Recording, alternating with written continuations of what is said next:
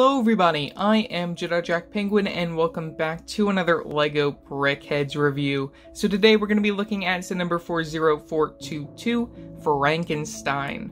This set includes 108 pieces and originally retailed for $9.99 when it released late September of 2020. Now, I got this set last year around the time that it released. I believe I got this for Black Friday just to get through the promo threshold. Another really cool thing to note about this Brickhead set is that it is licensed by Universal Monsters, which I thought was really, really cool that they did this. I was expecting them to do something again this year, but it doesn't look like that's the case. You can take a look at the side art for this. I really love that we get that Universal Monsters logo and then like the Universal Monsters Frankenstein represented with this more graphic style from the side.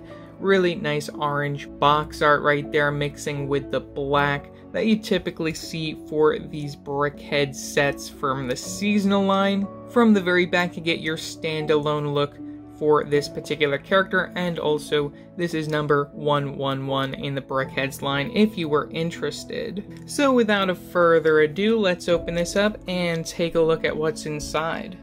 Looking at the box contents, you get a total of three unnumbered bags to build the set, in addition to your loose plate piece for the stand and your instruction manual. Taking a quick look at the instructions, we mimic the front of the box. From the very back, you get your win guy, get your piece count for two pages right there, leading on to the final overall model. No other advertisements, because there really wasn't anything else to show. And that brings us to our final overall model of Frankenstein's monster, who looks really nice in this sort of black and white, using the light gray, dark gray, black for the entire character, and a little bit of silver, and very nice touch by LEGO there.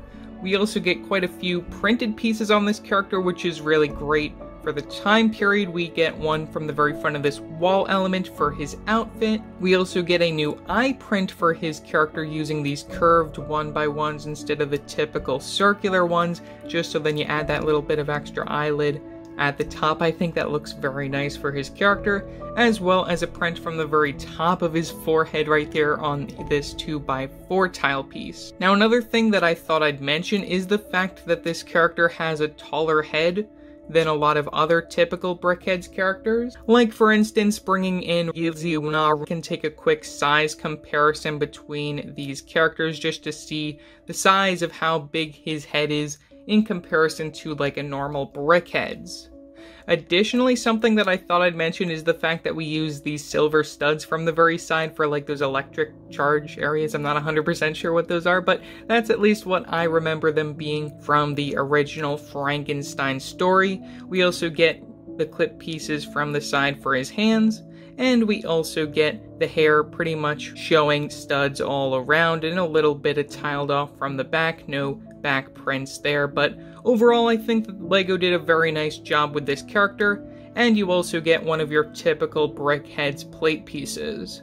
So overall, for another $10 Brickhead set, I think this one features quite a lot of value in terms of the new and exclusive printed pieces. As unuseful as most of these would be outside of the situation, I think they work very well to create the character. I also think the color scheme was a great decision as opposed to making it in color. I think this relates more to the original Frankenstein movie, which is an added bonus for fans of that. And this is yet another fun Halloween build to add to your collection. So yeah, that's pretty much all that I have to say for this video. Leave your thoughts down in the comment section below what your thoughts are on this set. Also remember to like and subscribe and hit that bell icon know every time I upload a new video. So yeah, that's it for now and happy Halloween. Bye!